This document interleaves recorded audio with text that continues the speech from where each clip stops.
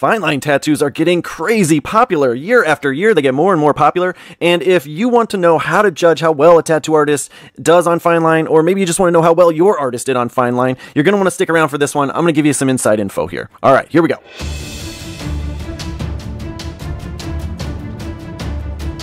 This tattoo was sent in by Maya, and she is out of Tel Aviv, Israel.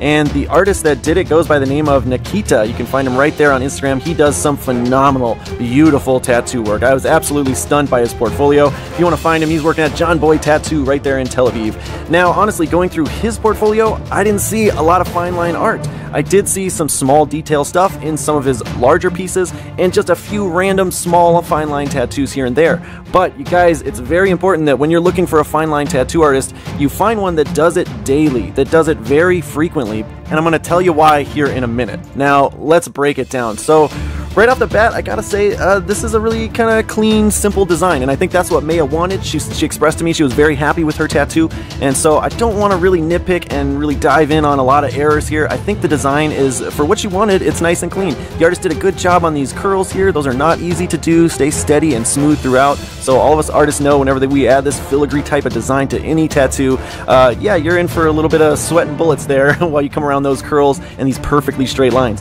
Now, I think he did great on those, but I'm not a big fan of this ear on this baby lion. I think it looks a little whack. Um, also, the whiskers. I don't like how these whiskers flow so perfectly straight. If you ever seen a realistic lion, they don't flow that perfectly straight. So something looks a little unnatural about those whiskers to me.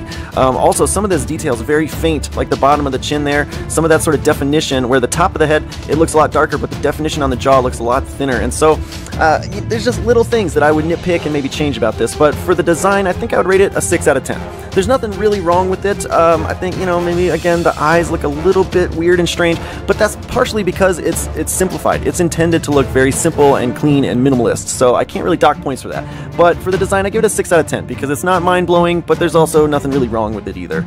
Uh, now, if we're going to judge the line work, how well the artist did, you know we got to see the healed version because this is what's important with fine line, you guys.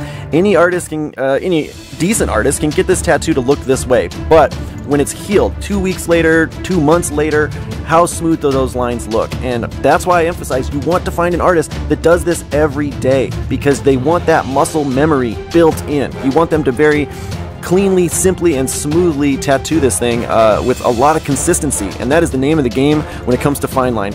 And here's some good examples. Up here, you see how bold these lines are. In fact, there's a little bit of uh, blurring there, maybe a little bit of blowout. That's really normal. When you're putting a lot of small detail close together, you get this sort of blurring. Like in this negative area right here in the point, you see that blurring. That's, that's a blowout. And that's uh, very common when you're doing a lot of detail tight together like that, especially solid black detail. Uh, it's bound to get that sort of blurring effect.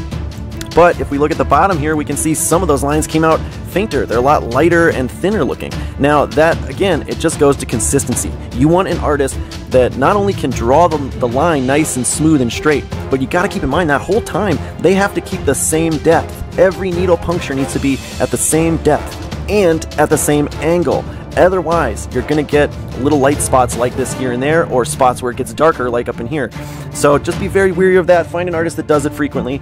Um, for the line work here, I think he did a pretty good job. Um, it's not so bad. There's a little bit of blurring, like I said, it's expected. A little bit of faint lines here where he didn't get it deep enough, or the angle maybe changed on his hand when he was applying it. So the consistency is a little bit off, but overall, I think it's not so bad. For the line work, I'm going to give it a 6.5 out of 10. And uh, the only other things I'd comment on is the white highlights here. You see how bright they look in this edited photo, uh, but then when we go back, those white highlights are pretty non-existent. And again, with the bottom of the chin there, look how faint that looks after it heals, okay? So some of those uh, light little dotted edges where he's trying to create a little furry look, that's really, really small detail. Not much ink getting into the skin there. So that's, again, something you gotta think about if you're getting a fine line tattoo. You need an artist and you want an artist that does it every day. They've been doing it for a long time and they post their healed work. That's some of the most important uh, aspects you can look for if you're gonna get a fine line tattoo. Overall, I think I would rate this one a 6.5 out of 10. I think um, it's pretty obvious that Nikita is a phenomenal tattooer, but, um, you know, if they don't do that fine line day in and day out, uh, then yeah, those little inconsistencies are bound to happen uh, in anybody's fine line tattoo. So I think 6.5 out of 10. Let me know how you guys would rate this one in the comments down below. Otherwise, uh, if you want your tattoo rated, send it in. All right, see you in the next one. Bye bye.